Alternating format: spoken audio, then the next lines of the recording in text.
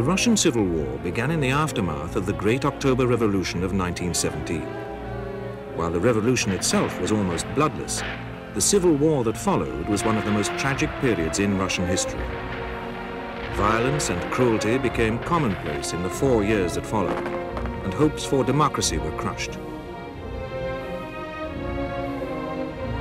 Russia was ruled by a small group of revolutionaries known as the Bolsheviks, who understood only too well what they must do to hold the power they had seized. Those who opposed the Bolsheviks understood that these new leaders would irrevocably change Russia.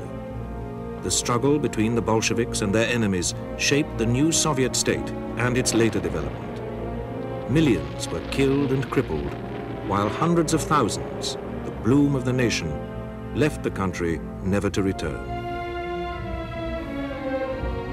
The causes of the Russian Civil War were deeply rooted in Russian history. The First World War had caused desperate suffering among the Russian people, but other more long-standing problems were just as important. For centuries, Russian peasants had been tied to land they did not own and forced to work for others. In 1861, only two civilized nations, the United States and Russia, permitted one man to own another and force him to work against his will. But in that year, as the United States began its own civil war to decide the question of slavery, Tsar Alexander II abolished serfdom in the Russian Empire. Yet vestiges of the old system continued to plague the vast majority of the Russian population, whose prospects for land and education remained severely limited. For Nicholas II, who became Tsar in 1894, the desires of many of his subjects for radical changes in government were difficult to accept. His indecisiveness plagued Russia and contributed to the country's internal problems. Russia entered World War I in 1914. By 1916, Devastating military defeats and internal problems, aggravated by the war, caused most Russians to believe that revolution was the only solution. In 1917, Russia experienced not one, but two revolutions. The first revolution took place in February. Born of frustration and disappointment, this revolution of queues demonstrated the lack of confidence of urban workers in their government's effectiveness. On March 2, 1917, Nicholas II abdicated, and soon after he and his family were arrested. Soldiers and workers in Petrograd banded together to form a quasi-governmental organization called the Petrograd Soviet. Its leaders represented two political parties, the Social Revolutionaries and the Mensheviks. Under the Tsar, the Duma had been Russia's parliamentary body. Now the Duma's Provisional Committee nominated ministers for its first cabinet. Prince Lvov as cabinet head and Pavel Milyukov as Minister of Foreign Affairs. Revolutionary parties did not play a significant role in the February Revolution, but the Bolsheviks acted immediately to take advantage of the new freedom released by the revolution and amassed the forces necessary to launch an offensive. In April, the German government granted permission for Vladimir Ulyanov, a Russian exiled in Switzerland, to return to his homeland through German territory in a sealed train. This man would play the key role in Russia's revolutionary history. He was known as Ilyin, Tulin, Petrov, and Frey, but his most famous alias was Lenin.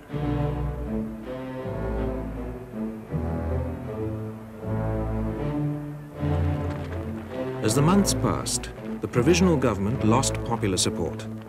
Bolshevik propaganda hastened the erosion of police and military authority, and the government was unable to halt the disintegration of social order. Russia's people, convinced of the futility of the war, responded to anti-war propaganda.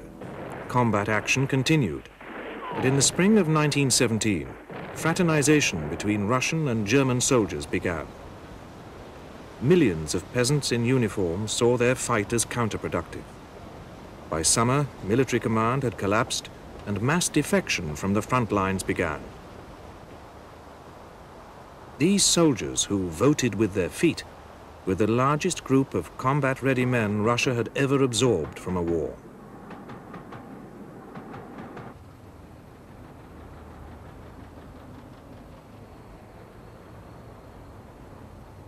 In early June, the delegates to the first All-Russian Congress of Soviets in Petrograd heard Lenin state the Bolsheviks' intention to seize power.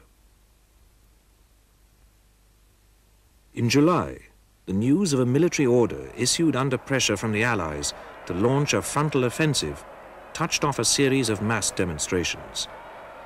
When the demonstrations became menacing, the government moved loyal troops into the city who brutally put down the unrest. The suppression of the demonstrations and the failure of the offensive brought down the head of the government, Prince Lvov, who was replaced by Alexander Kerensky. At the time, Kerensky, a socialist and a prominent lawyer, was a popular figure who, less than a year later, in flight from the Bolsheviks, would leave his country with a Serbian passport on the deck of a British cruiser, never to return.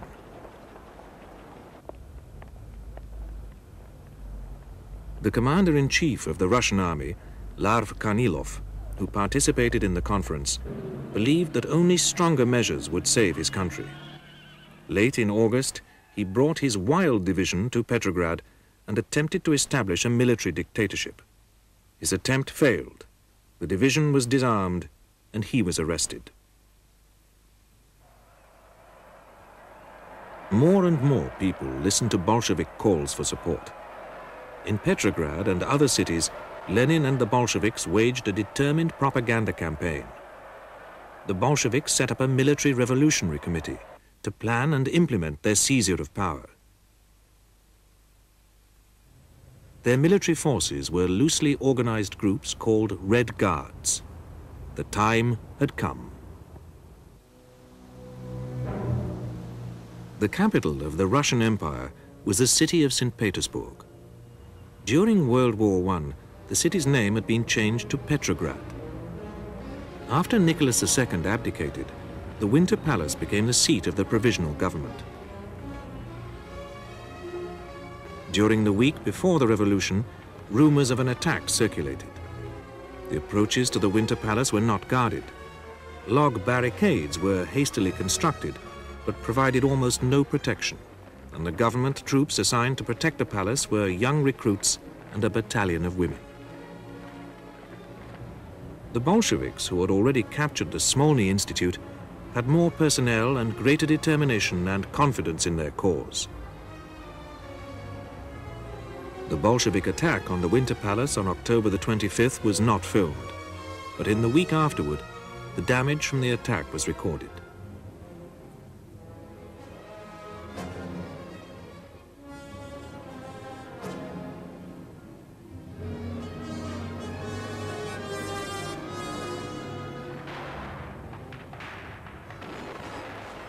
On October the 30th, the first military engagement of the Russian Civil War took place. The Bolsheviks' Red Guards faced Cossacks loyal to the recently overthrown government outside Petrograd. The Cossack general, Pyotr Krasnov, was arrested, but released almost immediately. Within a week, Soviet power was established almost bloodlessly throughout most of the former Russian Empire. But opposition remained, most importantly, in Moscow. Military cadets loyal to the provisional government seized the Kremlin, the State Duma, and other buildings in the city's center. The cadets made the Alexander and Alexis cadet schools their bases of operation. Red Guard units defeated their opponents, but lost a thousand troops in fighting that severely damaged Moscow's center.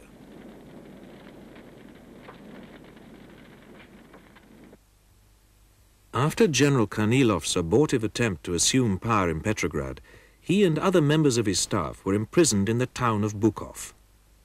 Because they believed they could justify their actions, none had attempted to escape. When Moscow fell, their lives were in danger. They were freed by the commander-in-chief of the Russian army and made their way south to the Don. The generals hoped to make common cause with Cossack ataman Alexei Kaledin, who had seized power in the Don region and refused to recognize the Bolshevik government. Many of those loyal to the former government went south to the Don. There, the White Volunteer Army was formed from the remaining forces of the Russian army. The 4,000 men were united in their hatred of the Bolsheviks. General Mikhail Alexeyev became the first supreme commander of the volunteer army. He had been commander-in-chief of the Russian forces, but was now dying of cancer. When General Kornilov arrived in the south, he assumed military command, leaving civil and diplomatic matters to Alexeyev. The volunteer army badly needed arms and ammunition.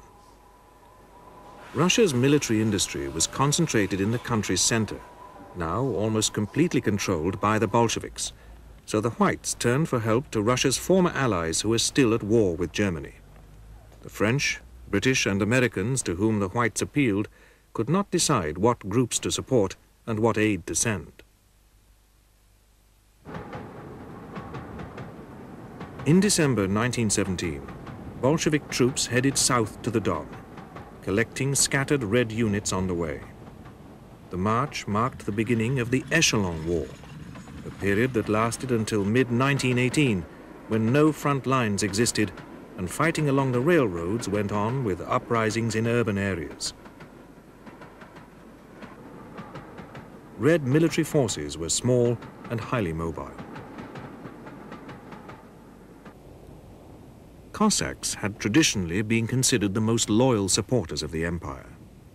Grand Prince Alexei, the son of Nicholas II, had held the title of Ataman of the Cossacks since he was four years old. The highly trained and well-equipped Cossacks had formed the emperor's crack guards.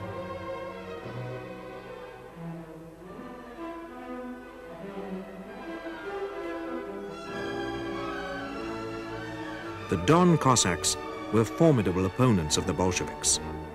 But many Cossacks were disillusioned by World War I, while non-Cossacks of the Don were leaning towards the Bolsheviks.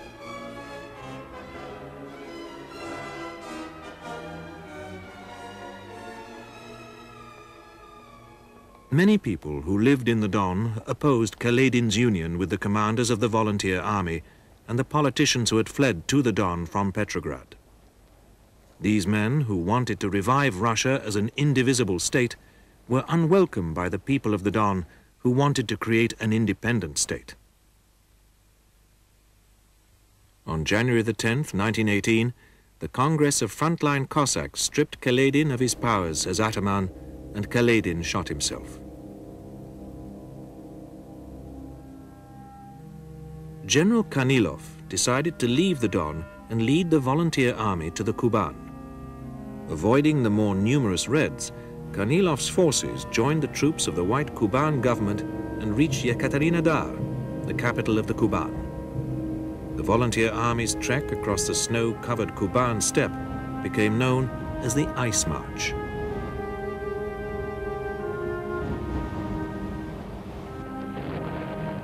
On April the 8th, Kornilov attempted to take the Kuban capital. The assault was beaten back, and only 1,500 men were left in the volunteer army.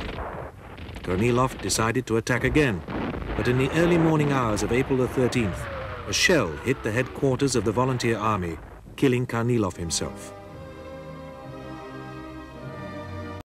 was a blow to his men. General Denikin assumed command and decided to retreat from Yekaterinodar.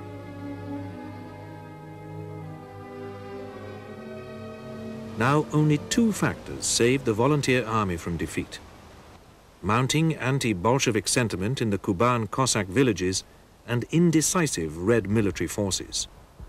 Instead of pursuing Denikin's forces, the Reds exhumed Kornilov's body and displayed it in the city. In May 1918, Denikin led his troops back to the Don. New Cossack volunteers increased the size of the army to 3,500 men by late 1918, the volunteer army posed a serious threat to the Bolsheviks. In November 1917, Colonel Alexander Dutov, the ataman of the Orenburg Cossacks, launched a campaign in the southern Urals.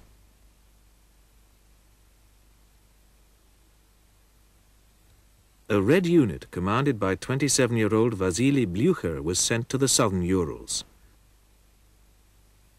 Blucher's military strategy reinstated Bolshevik control in the region by January 1918 and Dutov retreated.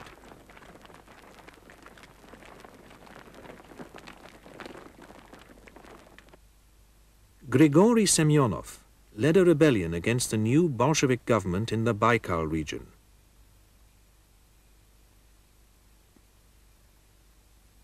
Semyonov's attempt to seize the region's main city failed, and the Reds drove the Cossacks into Manchuria. The winter after the October Revolution inflicted greater suffering on all those who lived in Russia. Starvation first claimed the lives of the very young and the very old. Food supplies dwindled, lines grew longer and longer. Chaotic administration and a lack of fuel paralyzed the country's railroads, so that the distribution of food was even more difficult. Despite their more desperate attempts, the Bolsheviks were unable to feed the population. At least half of the bread that did reach Russia's starving cities was brought by itinerant traders known as bagmen. And although the Bolsheviks identified these people as enemies of the state, they were forced to allow the private trade in bread both in the cities and the countryside. The Bolsheviks' most important concern was to fight against the growing opposition forces. At first, the Bolshevik military had included only Red Guard units made up of workers too few and poorly trained to wage war. In January 1918, the Bolshevik administration issued a decree forming the Workers' and Peasants' Red Army. A system was introduced to train new recruits 16 to 40 years old.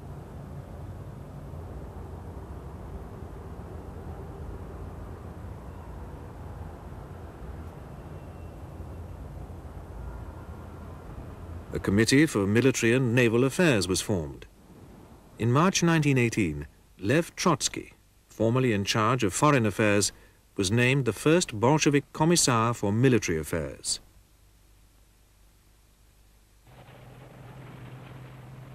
Combat on the Russian-German front had stopped in the fall of 1917, and talks began on November the 22nd in the town of Brest-Litovsk. Ludendorff, the leader of the German delegation, and Trotsky, who headed the Bolshevik delegation, fiercely opposed making peace. The Bolshevik position was weakened by direct negotiations between the Central Rada the Ukraine central government, and the Germans.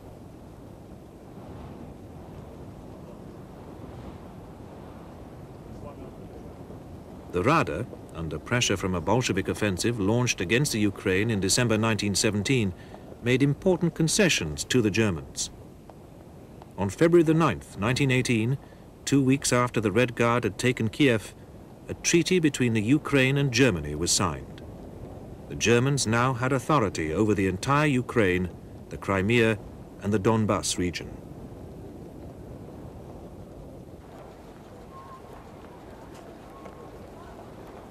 Kaiser Wilhelm II could now legally use the Ukraine as an economic base for continuing the war.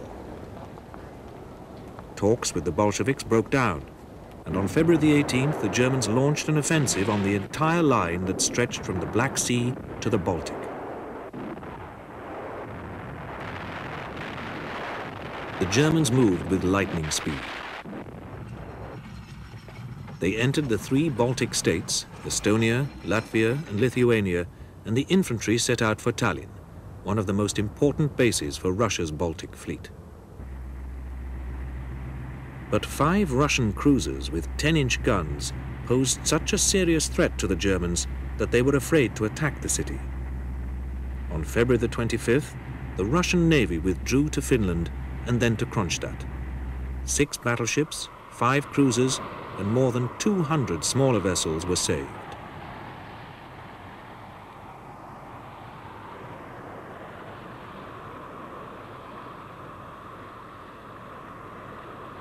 Meanwhile, the rapid advance of the Germans forced the Bolsheviks to agree to a humiliating peace treaty. On March 3, 1918, the document was signed by Georgi Chicherin, who had replaced Trotsky as head of the Bolshevik delegation. Their reluctance to negotiate with Germany cost the Bolsheviks dearly. The original line of demarcation was moved to reflect the new advances of the Central Powers. The Bolsheviks were forced to demobilize their forces, renounce their claims on Lithuania, Poland and Courland, and recognize the independence of the Ukraine and Finland and German occupation of Russian territories. Two days before the Bolsheviks signed the treaty at Brest-Litovsk, the Germans entered Kiev. 29 infantry divisions and four cavalry divisions made up Germany's army of occupation in the Ukraine. Field Marshal Eichhorn was named commander-in-chief of the occupation forces. Red resistance had no effect on the German troops, who were slowed only by the distances across the Ukraine itself. Then in March, the Germans captured more than 80,000 prisoners and seized enormous quantities of weapons and ammunition. By April, the Germans had seized Odessa and advanced to the borders of the Don Cossack region. A puppet Ukrainian government was set up in Kiev under Getman Pavlo Skoropadsky. The government acted only on orders from the German military command. The economic union with Germany that the Ukrainians envisioned became instead a reign of fear and terror. Foodstuffs were requisitioned Terror became widespread and concentration camps were constructed throughout the Ukraine. Guerrilla movements began to form, unleashing violence often more dreadful than that of the Germans. In February, the German army in the north advanced as far as Narva. Although it was the last Bolshevik stronghold on the way to Petrograd, it was defended by poorly organized and equipped Red units who yielded the city without any resistance. Pavel Dybenko, commander of Narva's Red forces, was stripped of his position, expelled from the Bolshevik party and brought to trial. He fled with his lover, Alexandra Kollontai. Later, he was acquitted and fought with the Red Army. The German threat to Petrograd forced Lenin to relocate the Bolshevik government in Moscow, Russia's ancient capital in the heartland of the country. By mid-March, the Bolshevik leaders were settled in the Kremlin with their families.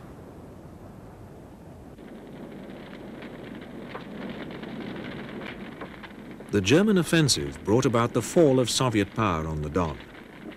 In May 1918, the Circle of Salvation of the Don elected General Krasnov as its ataman.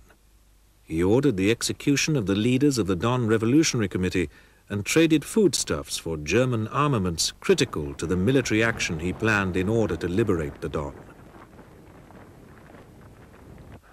Other events also threatened Bolshevik power. On March the 6th, 1918, the British cruiser Glory landed at the northern port of Murmansk. Troops followed to protect Allied ammunition stores in the city. The Murmansk City Council sanctioned Allied defense of the city, and the Allies agreed to provide staples for the local population and not to interfere in regional affairs.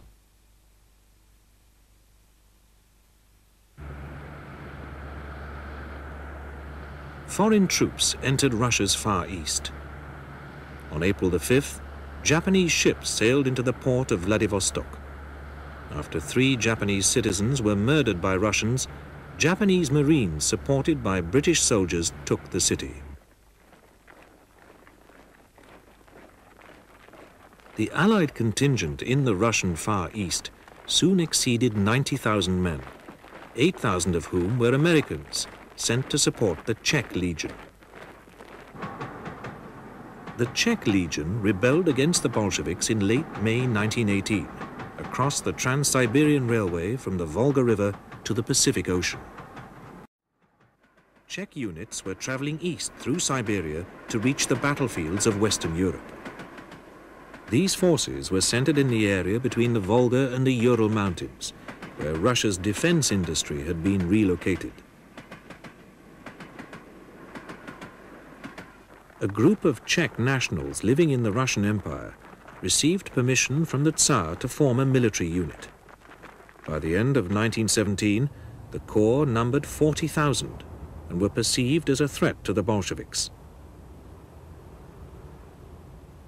When the treaty between Russia and Germany was signed, the Czech National Council declared the Czech Legion a unit of the French army. Czech nationalists, led by Tomáš Masaryk and Edvard Beneš, hoped to use the Legion to fight for their country's independence. Masaryk reached an agreement with the Bolshevik government that allowed Czech troops in lands controlled by the Bolsheviks to travel to Vladivostok, where they were to board ships bound for France. Czech soldiers were to surrender their weapons, but their commanders feared the Bolsheviks would betray them. When the Czechs intercepted a cable from Trotsky with orders to kill any Czech found to be carrying a weapon, the Czechs attacked the Reds. Weak communist influence in the region helped the Czechs, who seized several cities on the Trans-Siberian Railroad. The Czech offensive revived anti-Bolshevik sentiments in the east. Despite the Reds' plight on the German front and the Don, more troops were needed to create an eastern front. But before this front was operational, other events intervened.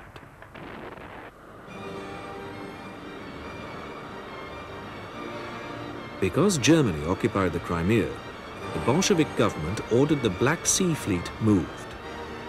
Germany demanded that the fleet return to the Crimea the Bolshevik government sent a second coded message to sink the fleet. Naval personnel finally complied after the arrival of Lenin's envoy, Fyodor Raskolnikov.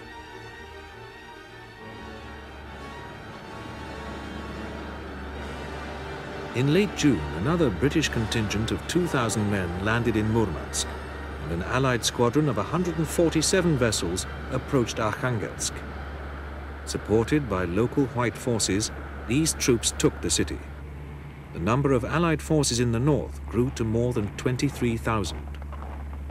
Their objective was to consolidate all regional forces that opposed the Bolsheviks. General Poole, the Allied commander, intended to drive his troops deep into Russia. Supported by a 100,000 anti-Bolshevik Russians, the Allies were to link up with Czech forces.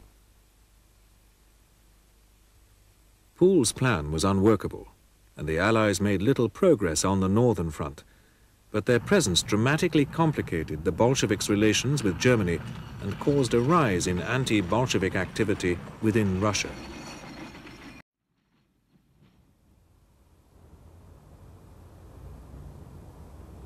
In Yaroslavl, right social revolutionaries under the leadership of Boris Savinkov rebelled on July the 3rd.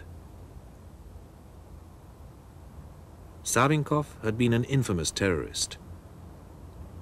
Savinkov's forces were only defeated with barrages of heavy artillery. On July 22nd, the city lay in ruins.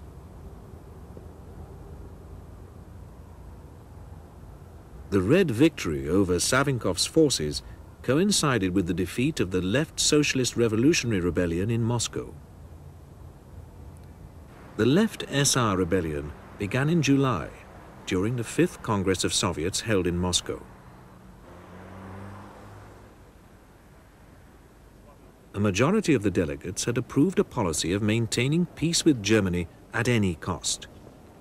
The left SRs opposed making peace with Germany and attempted to force a break in the Brest-Litovsk Treaty by assassinating the German ambassador Count Leopoldus Mirbach on July the 5th. The next day, the left SRs, led by Maria Spiridonova, began an uprising in Moscow. They arrested Felix Dzerzhinsky and 30 other Bolsheviks. The rebels seized the Central Telegraph Office, but could not take the Kremlin.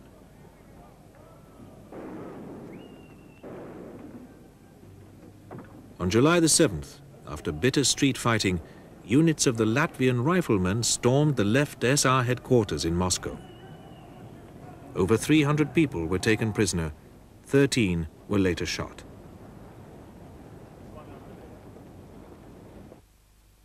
This rebellion in Moscow was the aftermath of a bitter power struggle between the Bolsheviks and their left social revolutionary and Menshevik opponents.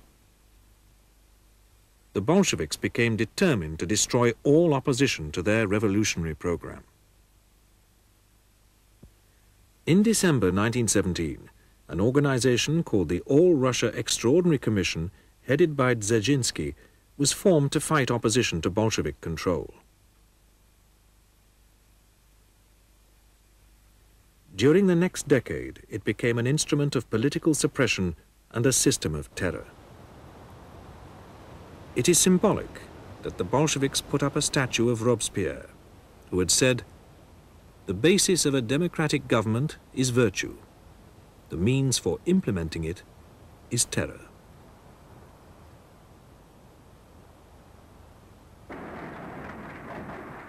Dzerzhinsky's organization, the Cheka, launched an attack against the old order, and all the people and institutions that sought to preserve it were marked for destruction.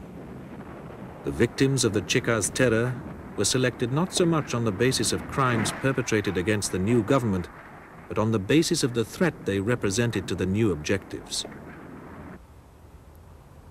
In the months after the October Revolution, the Bolsheviks' political opponents used terrorist tactics reminiscent of the last decades of Tsarist Russia. In June 1918, the Bolshevik Commissar for Press and Propaganda was murdered. Then, on August the 17th, the head of the Petrograd Cheka was killed by a social revolutionary assassin.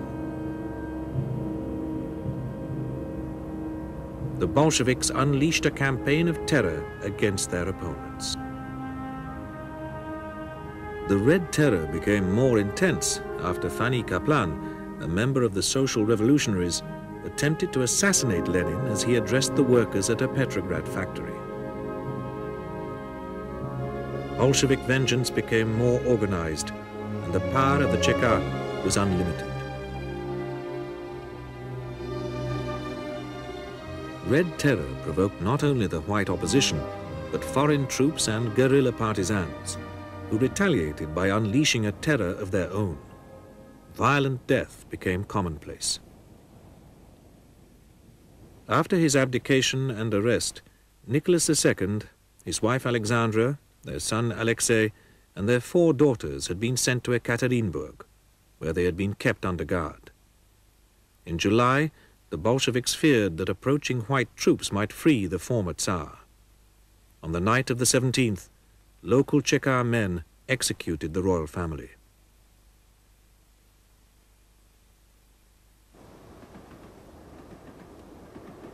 By the summer of 1918, Red forces had yielded large territories, and Bolshevik Russia was no larger than the ancient Muscovite state. In the east, enemies of the Bolsheviks seized the cities all the way to Kazan. Earlier, an anti-Bolshevik government known as Komuch had been formed in the city of Samara. Now, Komuch troops and forces of the Czech Legion entered the city of Kazan, unopposed. The Serbian battalion that defended Kazan's Kremlin fortress had betrayed the Bolsheviks, and the Red Flotilla withdrew up the Volga without offering any resistance.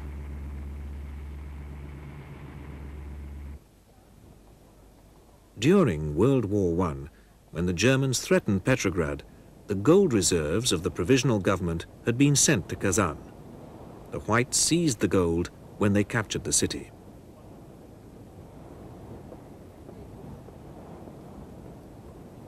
The white presence in Kazan posed a far greater threat to the Bolsheviks than the loss of the gold reserves. From Kazan, there was a direct road to Moscow. And the Bolsheviks feared an attack on the capital. The Eastern Front was now critical, and Lev Trotsky arrived near Kazan. Trotsky was second only to Lenin in the Bolshevik leadership. Like Lenin, he firmly believed in the rightness of communist dogma, and he implanted this belief among the masses through his unequaled oratory. More than anyone else, Trotsky shaped and influenced the Red Army. An arch enemy of Stalin, Trotsky was doomed to disappear from official Soviet history. In the West, he would often be viewed as the antithesis of Stalin, and many would forget that Trotsky created many of the concepts that would become pillars of Stalin's socialism. To the Kazan front, Trotsky brought not only ammunition, but military discipline. He ordered deserters executed, then regrouped the Red forces. He singled out the best soldiers and appointed new commanders. Joachim Vatsetis, the commander of the Latvian riflemen, was placed in command of the Eastern Front.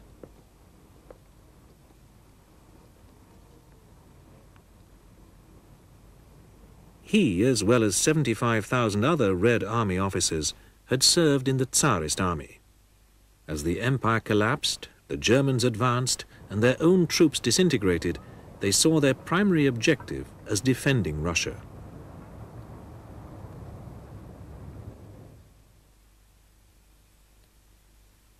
Trotsky believed his young army needed the knowledge and experience of these specialists. He was also aware that victory would require higher morale among the troops and a reimposition of the discipline that the Bolsheviks themselves had undermined before the revolution. But although Trotsky gave command authority to these former Tsarist officers, he appointed a Bolshevik commissar to supervise each one.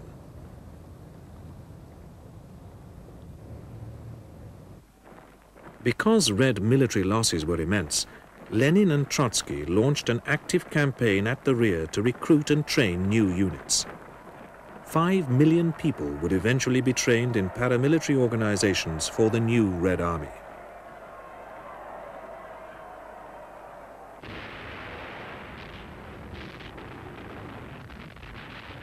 Near Kazan, in a combined operation, the forces of the newly formed Red Army won its first major victory. On September the 10th, the 5th Red Army and the ships of the Volga flotilla, supported by mine carriers from the Baltic Fleet, took the city of Kazan.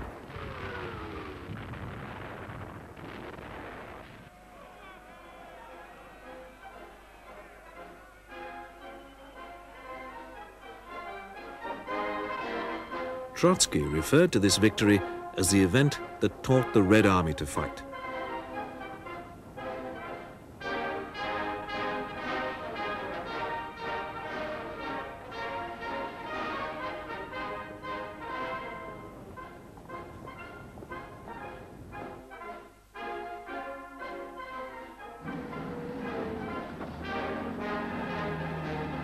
Two days after the Red Army consolidated a bridgehead on the eastern bank of the Volga, Simbirsk fell, thus opening the way to Samara, the capital of the anti-Bolshevik Komuch government. The Komuch escaped to Ufa, several hundred kilometers to the east, but by November, the Red Army had reached the city. The capture of Samara, a city in the largest grain-producing region, temporarily eased the Reds' food shortages.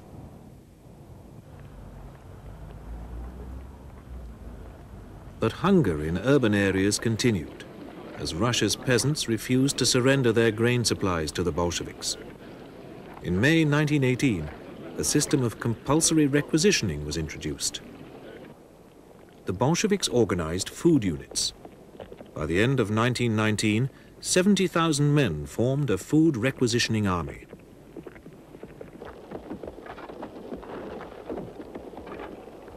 Their work was simple robbery, and they caused starvation and death. Resistance was mercilessly crushed. One of the men appointed to head the food requisitioning units was Joseph Stalin, who was sent to the Volga region in June 1918.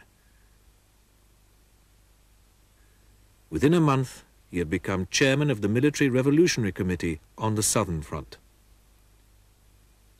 Stalin's first combat command was at the Battle of Tsaritsyn, but he was not the architect of the strategy that saved the city from Cossack troops. Later, the minor role he played in the Red victories of the Civil War would be greatly exaggerated.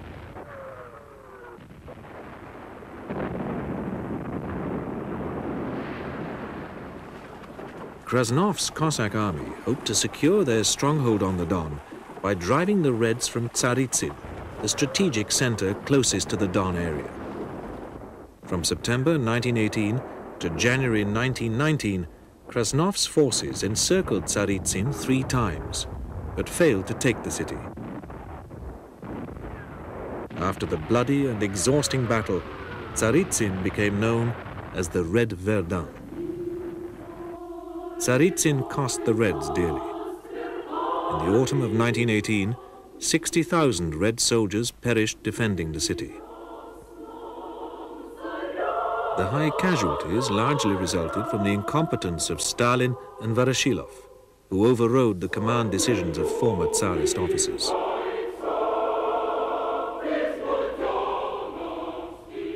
Months later, at the 8th Congress of the Bolshevik Party in March 1919, Trotsky attacked Stalin, Voroshilov, and their associates. Lenin supported Trotsky's charge that ignoring experienced commanders and using guerrilla tactics caused the enormous red losses at Tsaritsyn. A majority in the Congress agreed with Lenin that the Red Army could not exist without iron discipline. Stalin never forgot his defeat or forgave Trotsky. The Red Army began its transformation into a powerful and well-organized fighting force.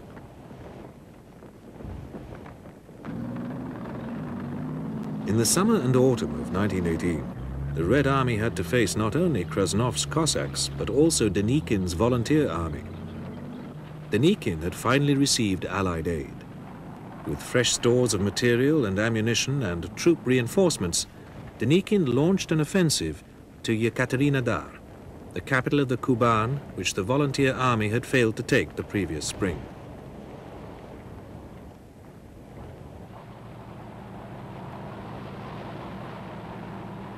Denikin captured key railway stations and cut off the Taman Red Army located to the west. These 30,000 soldiers managed to join the major force of the Red Army, but could not save it from defeat.